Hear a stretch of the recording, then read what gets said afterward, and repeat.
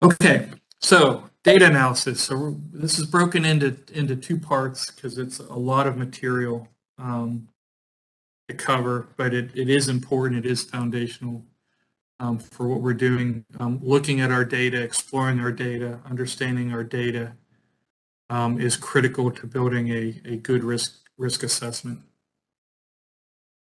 So let's jump right in. Um, so in this lecture, um, we want to come out of it with a few things. One is to recognize and identify that there are some different types of data, some different ways we can define them, describe them, categorize them, um, and compare them. We want to have always in our minds some, some of the questions um, that we should be asking about our data in order to um, explore it in ways that are useful for risk analysis. And then in this, this lecture, we're going to focus more on how to calculate some numerical summaries of our data that we can use to kind of better understand our data. In part B of the lecture, um, we'll, we'll cover some of the graphical things we can do with our data. So the uh, outline follows the follows the objectives, right? We're going to give some some basic fundamentals and definitions related to types of data and how they relate to each other. Uh, we're going to talk about um, some of the questions that we that we should be thinking about to, to explore data, and then um, some of the different techniques and metrics we can use um, to create some summaries of our data. So let's start with different types of data. So again, this is this is this is introductory. It's it's fundamental, um, but it but it is a key building block for risk analysis, right? So so what is data, right? Kind of important that we make sure we're all on the same page when we talk about data. So generally speaking, data is the result of, of observing or measuring some sort of quantitative or qualitative characteristic of a variable. And that could be any number of things, right? So variable, maybe it's, you know, annual maximum flood stage. Maybe it's, um, you know, the properties of some sort of strength properties for the soil uh, that our levees built out of.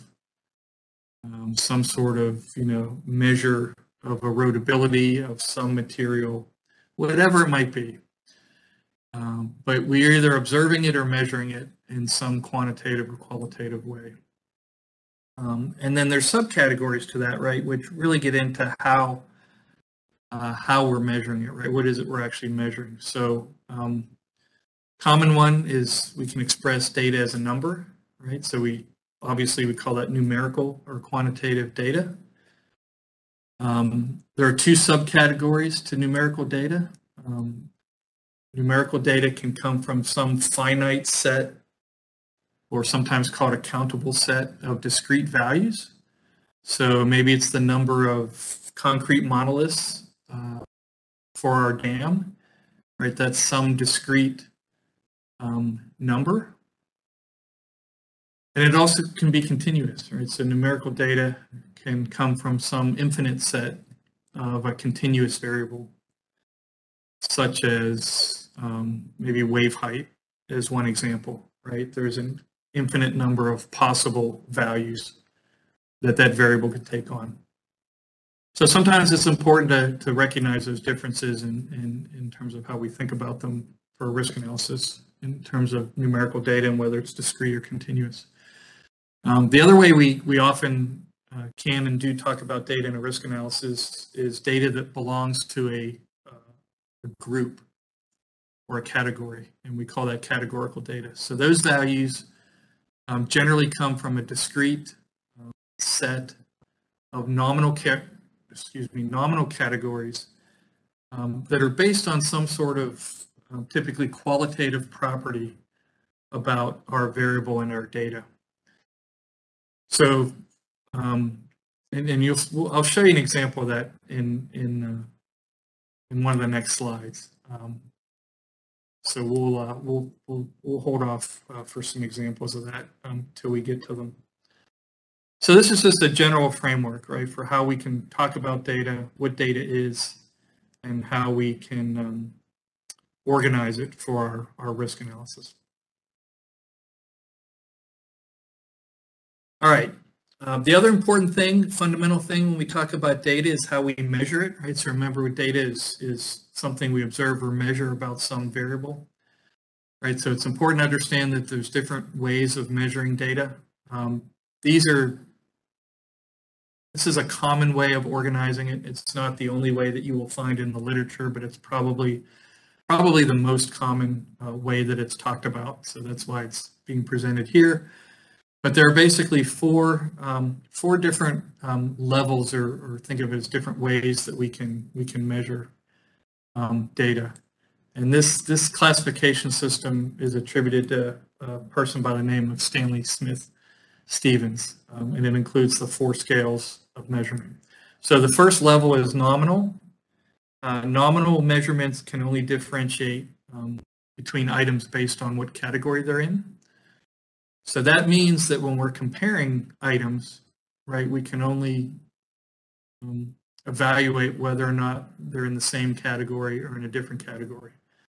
So what that means mathematically is that um, quality is the only mathematical operator that we can use with nominal measurements, right? We can only say is it equal to a category or not equal to. Uh, the next level up, and again, these progressively get, you know, increase in, in what they can do, right, as we move up, up the scale here.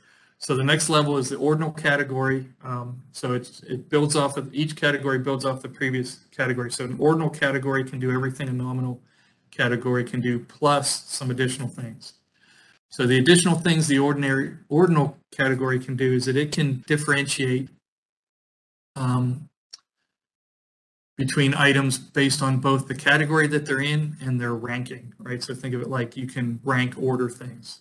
Um, so this means that items can be compared using equality, right? Whether or not they're in a particular category or whether they're greater than or less than some other um, category, right? So are they greater than, more than, better than, so on and so forth, right? Or the types of comparisons you can make um, between ordinal measurements.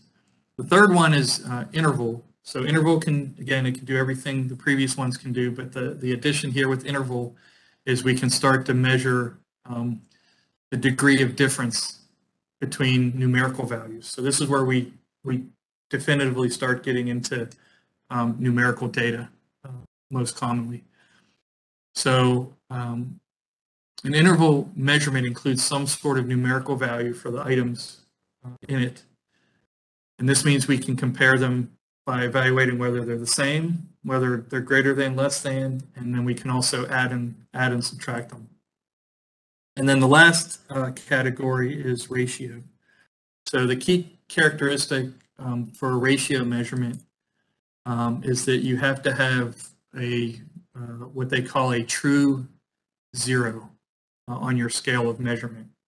And I'll, I'll, we'll cover an example of that in, a, in an upcoming slide here.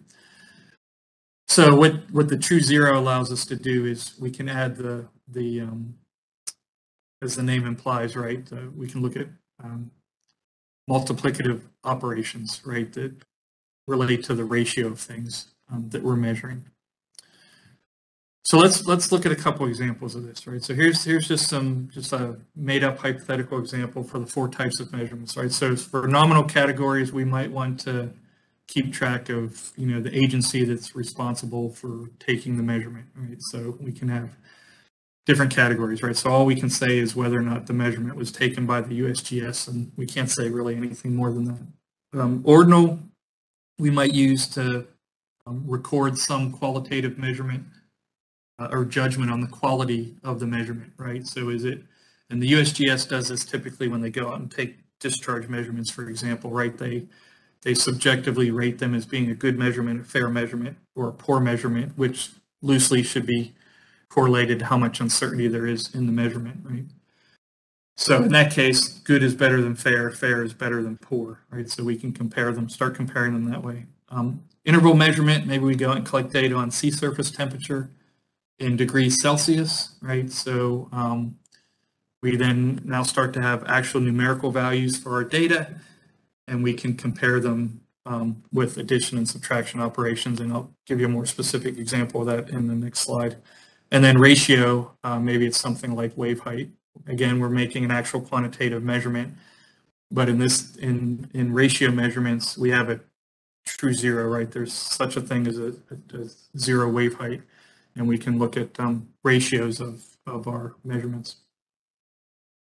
So here's a little more specific example, right, to just highlight the difference between intervals and ratios, right? So intervals you can compare by the difference and not by the ratio. So I'll give you two quick examples here. So hopefully everyone's at least loosely familiar with the pH scale that measures acidity.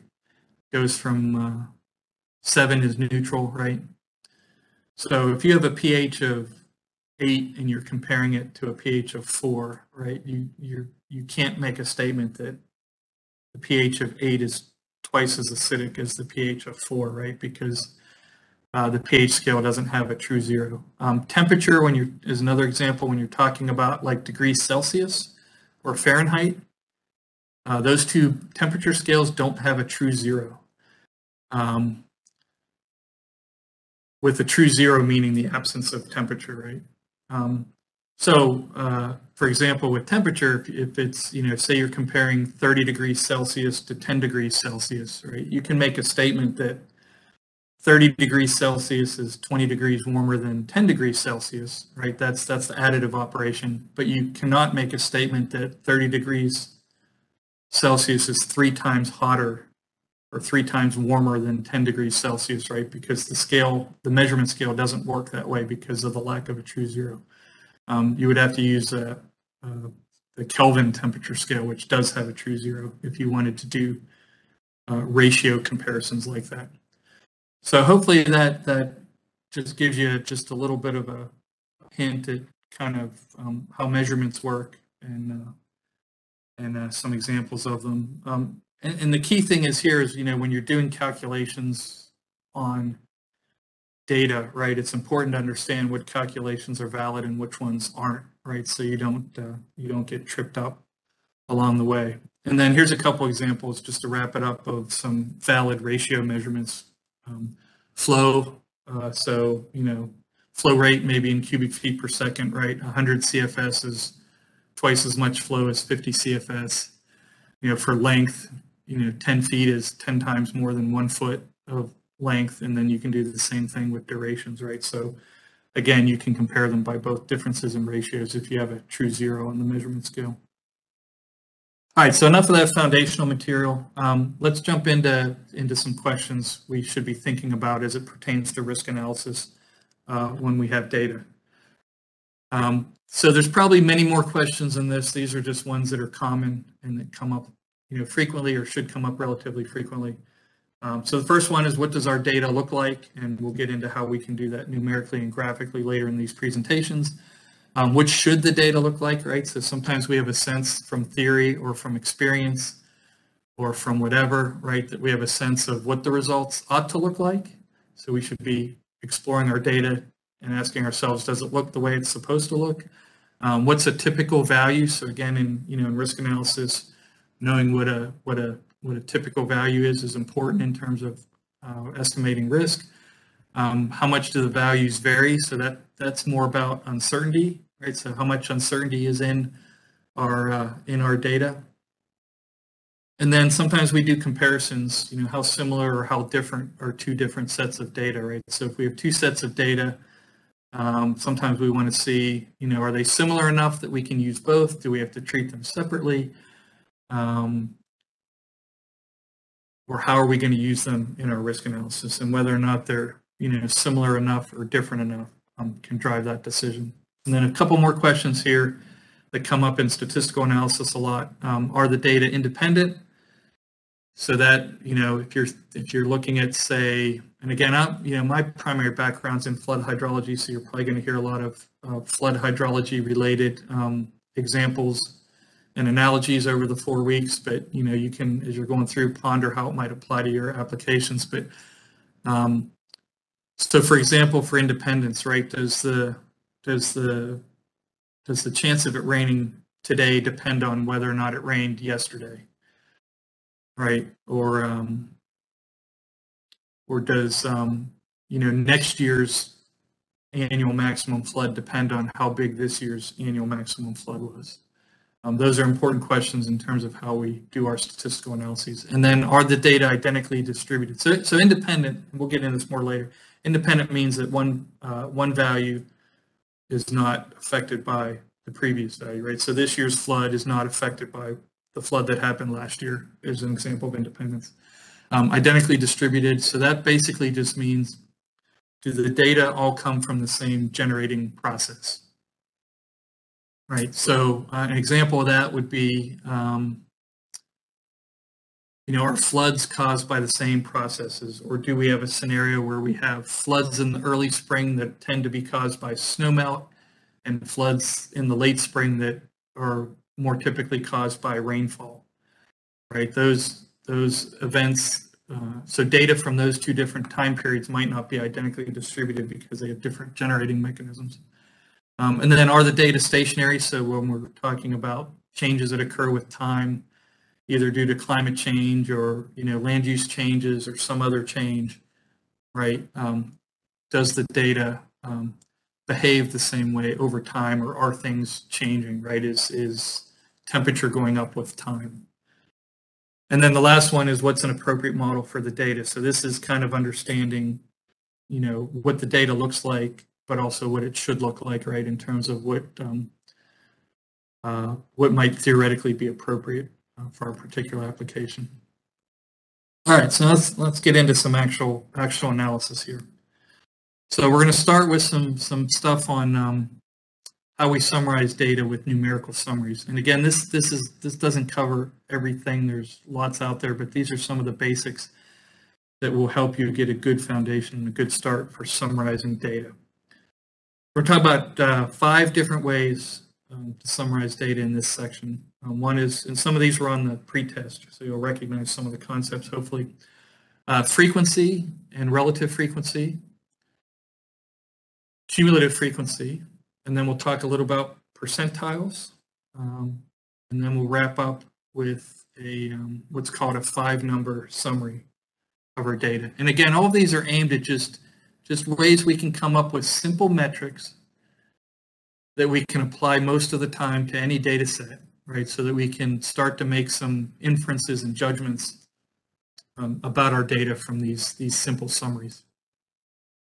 So let's start with a couple definitions. Um, frequency, first one. So frequency is pretty straightforward. It's just the number of data that are equal to some reference value or if you're dealing with continuous data, some some range of values, right? So when we have continuous data, where any data, any value is possible, right? We typically have to um, bin it or, or, define ranges of data and then decide whether a specific value falls within a range. Um, if you're in with discrete data, we typically are um, looking at just a specific um, reference value because we have a discrete countable set of values. So subtle difference there, but but um, but that's the difference between reference value and range. And then relative frequency is simply the frequency that we calculate divided by the total number of data, right? So it gives us a kind of a relative measure. So you can kind of think about it a way. There's there's a lot of lot of things in math where we try to um, kind of normalize things, if you will, to kind of um, allow our brains to uh, better interpret what we're seeing.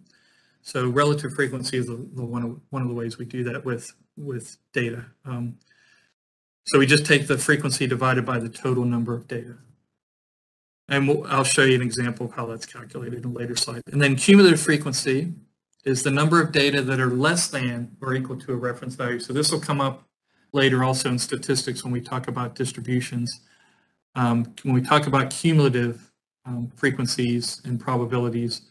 Um, we're always talking about the number of um, data or in probability, in the probability world, the probability of being less than or equal to. So for cumulative frequency, we just count up the number of data less than or equal to our reference value or our range, and that's the cumulative frequency. And the same as it is with relative frequency, we can calculate a cumulative relative frequency, which is simply the cumulative frequency divided by the total number of data. So let's look at an example so we can kind of see how this actually works. Um, so here we have some data. This is just uh, quality of measurement in three categories, good, fair, and poor, with how many measurements we've made that fall in each category. So if we want to calculate the frequency, it's it's really trivial here, right? It's just the number of values in each category, right? So 26, 84, and 115 for each of our three categories of data. Our total number of observations is 225. And then when we want to calculate relative frequency, we can simply take the number of observations in a given category divided by the total, right? So if we take 26 divided by the total number of data, which is 225, we get 12% um, as our relative frequency. And we can do that for all three of our um, categories of data. And again, the nice thing about relative frequency, right, is it kind of normalizes everything to a, a scale of 100%, right? So the total should add up to 100%, and we can really quickly see, right, that basically half of our measurements were rated as being good, right? So relative frequency, again, helps helps us maybe draw some conclusions a little more intuitively, a little more quickly than maybe frequency does. Um, and that's that's one of the benefits of it. But again, pretty simple. If you're doing this with continuous data, right, then then your your categories would just be ranges of values, and you would just do a simple count of how many measurements fell within each range. And but the the general approach and calculations are the same. All right, now let's look at cumulative frequency. The exact same data. This time we're interested in cumulative frequency, so we want to know how many of our measurements were uh, less than good, right? So they were either fair or poor. If, you know, for whatever reason, we might want to know that. So again, this is just, we just accumulate our values, right? So we go from the lowest, we, we order things from the lowest to the highest, smallest to the largest, uh, worst to the best in this particular example. And we just uh, accumulate our count of measurements by basically just doing a running sum as we work our way up through each category from, again, from lowest to highest. Um, so in this case, our first our first category is it's, it's only poor. There's nothing less than poor, right? So that's 26. Our second one for cumulative is fair, right? So that means it could be fair or less than or equal to fair, which means it could be fair or poor. So we add up those two values, right? Just do a running sum, 84 plus 26, we should get 110. And then for good, right, good is means if less, again, it's less than or equal to, right? So good means it could be good, fair, or poor. So we just total these up and we get 225, which is also our grand total for the number of data. And again, the exact same way um, we did cumulative frequency, we can do, or we did relative frequency, we can do cumulative relative frequency by just taking the cumulative divided by the total number of data. So again, these are in percentages. And again, you can, you know, draw inferences about this simple data set, right? You can say, well, based on this cumulative relative frequency value um, that I have here in the second row, 49%, right? I can say that, well, roughly half of my measurements are either fair or poor in terms of their rating. So again, just ways to explore the data, think about the data, and uh, and answer some of those questions about your data. All right, moving on to percentiles. So percentiles, this is a this is a formal definition, but we'll see um, it's not too bad when you get into calculating them. So um, the p the p percentile, right? So um, so in this case, we're selecting a percentile, and we want to calculate what value of our data corresponds to that percentile. So it's defined as, as the value of our data such that at most p percent of the data values are less than um, less than the data value. So you can think of this as being like a cumulative, um, think of it as being like a cumulative relative frequency, right? So it's, we're talking about uh, the less than or equal to condition. And we're trying to find if I, if I select a percentile, say the 25th percentile, what what value of my data um, corresponds to that such that 25% um, of my data is less than that data value. So for me, that's always a little counterintuitive, but um, but that's how it works. There's there's at least a half a dozen different ways to calculate um, percentiles. Um, none of them are wrong. This is just one of those ways. This is the way that's generally recommended by the National Institute of Standards and Technology. Um, there are other methods, but you typically start by deciding, uh, by selecting the percentile. Um, and then you have to calculate the corresponding value of the data. So the way you do that um, is you start by sorting or ranking your data from the smallest to the largest value. So from 1 to n, where n is the number of data, 1 is the smallest, n is the largest. You select a percentile, any number between 0 and 100%. Then you have to do this, uh, this, this little calculation um, here of p over 100 um, times n plus 1. And that'll give you a number. You then have to separate, and I'll show you numerical examples, so don't worry if, if this is a little bit confusing. Um, then you have to separate that number into an integer part and a fraction part. And then there's some rules there on the right-hand side, which I think are better, better explained with an example showing how to do the calculation when you separate it into an integer part and the fraction part. The reason for doing that is you often, when you pick a percentile, you often, when you have, you know, a discrete number of observations, you often end up in between two data values. So this integer and this fraction part and this formula here on the first bullet on the top right is basically just doing a, a simple interpolation.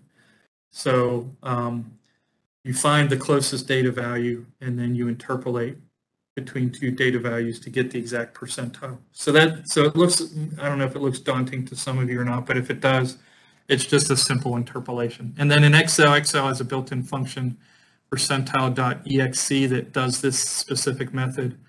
And uh, if you're using a statistical software package like R, um, they often have built-in functions as well. So you'll see some slides throughout this presentation that have built-in functions that uh, will do some of these things. So let's look at let's look at a real example. Um, hopefully, this makes it easier to, to grasp. So this um, this first this first column on the far left is just uh, data that we collected, 10 measurements um, just in random order here in the order we collected them, right? So the first thing we do is we got we want to rank them from the smallest to the largest value. So this second table here ranks them from 1 to 10, smallest to largest value. And then this third table on the right is where we want to calculate various percentiles.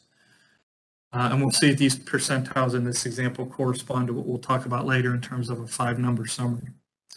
So, um, so there's a example calculation here on the right-hand side for the 25th percentile, right? So we plug in um, 25 for P as our percentile, divide by 100, and then multiply that number by n plus 1, where n is 10, right? So it's 25 over 100 times 11.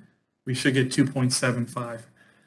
What that tells us is that our 25th percentile that we're trying to calculate is between our second and our third smallest value, right? So it's somewhere between between um, our second and third ranked value, right? So it's between three and four.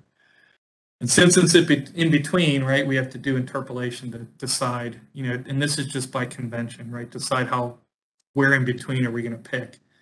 And it's just a, a simple um, straight interpolation. So we take the fraction part of this number, which is 0.75, and we just assume that it's 75% of the way between our second and our third value. So it's 75% of the way between three and four, right? So that's what that formula does, right? It does that calculation for you, and you should get um, you should get 3.75 um, as your number, right? Which should be 75% of the way between our second and our third ranked value. So that's how that works. And like I said, the built-in formulas and software packages do all this behind the scenes for you. But if you're interested, that's what it's doing. It's doing that calculation. So for me as a flood hydrologist, this is this is the way I'm used. This next slide here is the way I'm used to thinking about percentiles. And so in this case, you do percentiles by rank. So what you do is you calculate the percentile for each specific data value. So when we do things like plotting positions, um, this is what we're essentially doing. Um, we normally, in, at least in flood hydrology, we normally do plotting positions by exceedance probability. Um, this basic method for percentiles uh, and the example that's presented here is non-exceedance probabilities because that's that's more general and more standard. Um, so uh, in this case, we want to calculate a percentile that corresponds to each of our data values, right? So we have the same data. So the, this first little table on the far left, same data, just in the order we collected it. The second table, we again the exact same way we rank the data from smallest to largest, and then um, in these last uh, these last two columns, we calculate the percentiles based on the rank of the data. So the formula, the generic formula for that, some of you will recognize this formula for plotting positions, right? This is the general formula to calculate percentiles by the rank of your data. Um, M is the ranking of the data, right? So M from 1 to 10.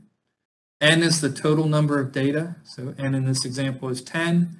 And then A is a parameter that can vary um, to do different types of of percentiles or plotting positions. And these, there's just a few listed here. There's a whole host of other ones available, and they all have specific applications. Um, some are some work better for certain types of probability distributions. Um, some, you know, some are set up to minimize errors and bias and et cetera, et cetera. Things we'll cover a little bit later on in the course. The most common one that's used the vast majority of the time is the Weibull plotting position formula because it's unbiased for any any probability distribution. So that's A equals zero. So if you just plug in A equals zero, those terms drop out, right? You just get, get M over N plus one. And then there's other ones here that, you know, are, are used in various applications. We're not going to cover all the details.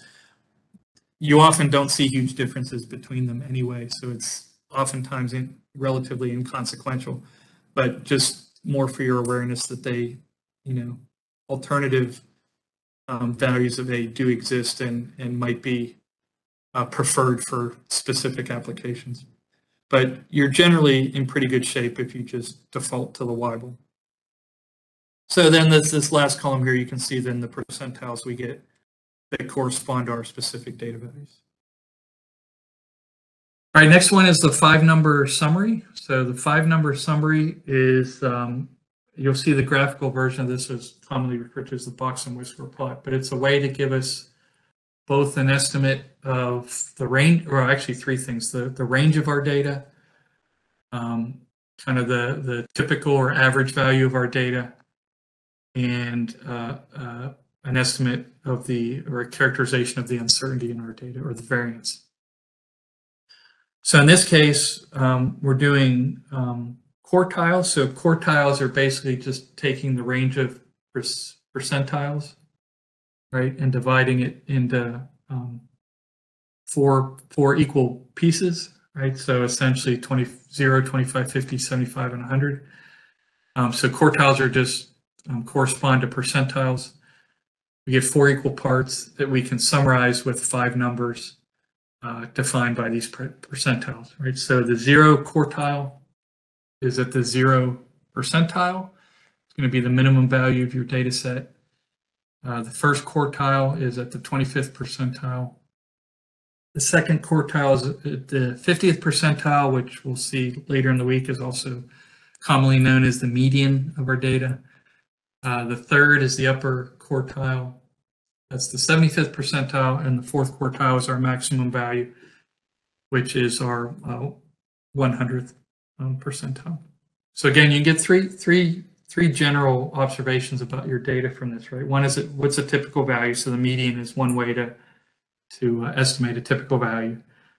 You can get an idea of how big the, you know, how much uncertainty there is, and oftentimes that's by looking at the difference between the first and the third quartile um, how, how big is that spread? And then you can get an idea of the full range of the data from the minimum to the maximum by looking at the difference between the first and the, or the, sorry, the zero and the fourth quartile.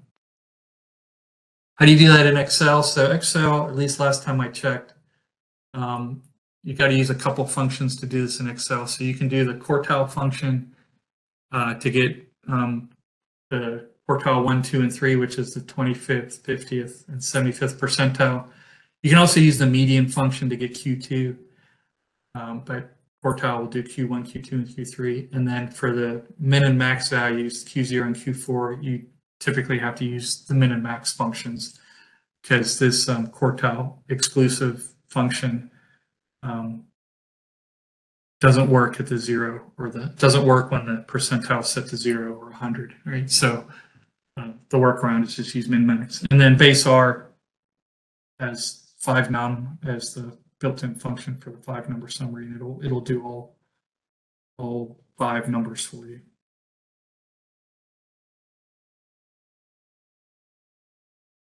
All right, so here's an example of a five number summary. Um, so again, the exact same data we saw in previous examples, uh, exact same ranking we saw in previous examples. So um, the first quartile is our 25th percentile. So remember, we calculated that before where we had percentile was 25, right? So it'd be um, uh, 25 over 100%, right? Times n plus 1, which is 11. So that gave us 3.75, which means we have to interpolate between, um, I'm sorry, 2.75. Gave us 2.75, which means we have to interpolate between our second and third ranked data, right? And we want to pick the value that's, you know, we have the integer part of 2 and the fraction part of 0.75, so it's 75% of the way between 3 and 4, which is 3.75. Um, the median is the middle value, uh, but in this case, um, when we do that calculation, we get um, 50th percentile divided by n plus 1, which is 11, right? So we end up having to calculate um, the number that's halfway between our fifth and sixth values, right? Because we we want five of the values above and five of the values below. So that'll give us essentially our ranking, you know, notionally is 5.5 for the median. So halfway between our fifth and sixth ranked values. So that'll give us halfway between four and five, which is this example is 4.5. And you can do the same thing for the other uh, percentiles. Again, zero quartile is our minimum two, fourth quartiles our maximum or eight. And again, so you can get it, you can get a feel for right. Minimum value is maybe a little less than five. You know, the the uncertainty range is, you know, generally, you know, plus or minus. Was that plus or minus one to one and a half, right? And then the full range of our data might be plus or minus two to three, something like that. So again, just just different ways we can um, summarize. So a question in the chat about quartiles. So I, I will touch on outliers um, later when I get into uh, the graphical depiction of this as a box and whisker. So maybe hold that thought, and then if you still have a question, ask re-ask it then. Um, there are there are again, there's not like only like if you look this up in the literature, you won't see one official standard way for doing some of these things that's you know universally adopted. So the question was, can we use, um, can we have a low outlier threshold and re remove some of the some of the either low or high data from our ranking? You will find in the literature some authors will suggest doing that, right? That you can uh, rather than use the minimum and max, you might set a, a threshold where you know if, if a minimum is so far outside the norm that you want to exclude it, right? And so that is uh, possible, it is allowable, and there are some publications where you'll find um, techniques for how to estimate whether or not something can be classified as an outlier. And you'll see one of those later when we do the, um, the graphic, or actually in the very next presentation when we do the graphical version of this. Does anybody have any other questions? Geometric mean used in risk assessment. Yeah, that's a good question. So um, so the general answer is yes, and and where geometric mean is commonly used is when you're working on a logarithmic scale is probably the most common application. So um, you'll see, you know, you'll see different formulas for geometric mean, but a geometric mean is essentially an average calculated on the logarithms or calculated in log space. So um, again, you'll see, you know, there's lots of different ways to calculate average or typical values, right? There's a mean, a median, a mode, geometric mean, and there's others as well. Um, so where you will see it commonly used geometric mean in risk analysis is a couple places. One is on uh, risk plots if you're doing like a semi-quantitative risk assessment where we, at least in the Corps, we represent a risk estimate by a box that is on a on a log scale. Our risk plots are on a log scale. So we might have a plot with probability of failure on the vertical axis, life loss on the horizontal axis, and it'll be on a logarithmic scale on both axes. And that, that box we use to portray the risk estimate will be uh, generally an order of magnitude in size. So if, you know, for whatever purpose, if we want to, if we want to assign a quantitative number to that risk estimate, uh, because we're managing this in log space, um, we will typically pick the middle of the box as our representative value for that risk estimate. And in log space, the middle of the box is calculated as a geometric mean. So if you just if you just took the average, right, just a straight arithmetic average, and plotted it, it wouldn't, on a log scale, it's not going to plot in the center of the box, right? So um, that's one example where, at least in the Corps, we commonly use geometric means um, for risk estimates. And we, we treat that risk estimate that's represented by that box. Um, we, we, we can attribute it a, a, a point estimate, right? And that point estimate is usually calculated at the center of the box, which on a log scale is the geometric mean. The other application you'll see is if uh, in doing risk calculations, if your um,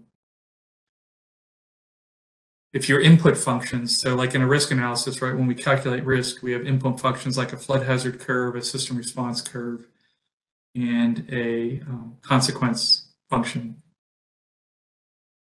So oftentimes in risk analysis, you will pick different methods for interpolating values on that function.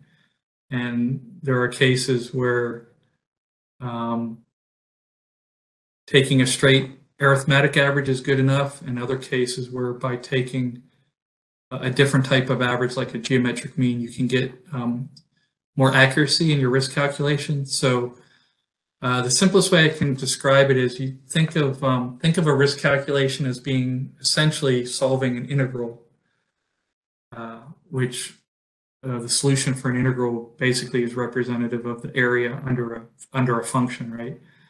And one of the ways we can estimate an area under a function is to use like something like a trapezoidal rule or a rectangle rule. You know, if we all took introduction to calculus way, way back when. For me, it was many, many years ago, but you know, that was one of the techniques you probably learned early on, right? It was either rectangle or trapezoidal rule. So oftentimes our risk calculations are essentially set up to use that type of method to solve a risk integral. And so what can happen, like say with flood frequency curves, um, they are often closer to being uh, linear if we put them in log space for the, say, the say stage or flow. Um, and in those cases, when you're trying to calculate, say you're trying to calculate the trapezoidal rule, and you want to calculate what the representative um, value should be as the average over that trapezoid, right? If if you're dealing with a function that's logarithmic in nature, right, you can use the geometric mean and it will get you a little bit more numerical accuracy in your calculation than if you took an arithmetic mean. Um, if your input function is linear, right, then you'd want to use arithmetic mean. So um, there's a, you know, kind of a technique that um, I loosely refer to as linear, linearization, right? So it's basically picking the method uh, based on um,